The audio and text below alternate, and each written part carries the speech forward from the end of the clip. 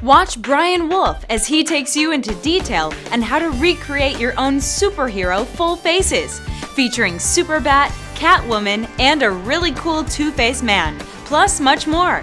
Join Brian's class and be prepared to have a blast.